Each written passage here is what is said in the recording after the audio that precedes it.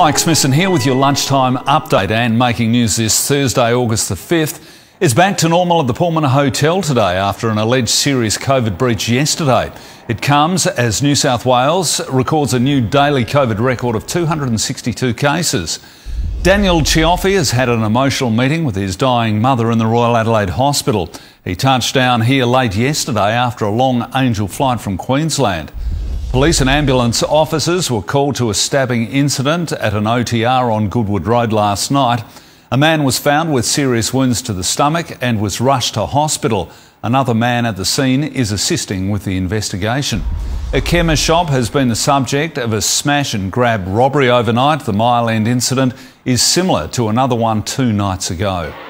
And funding for the state's Bloom Time has been announced, helping boost major events during spring.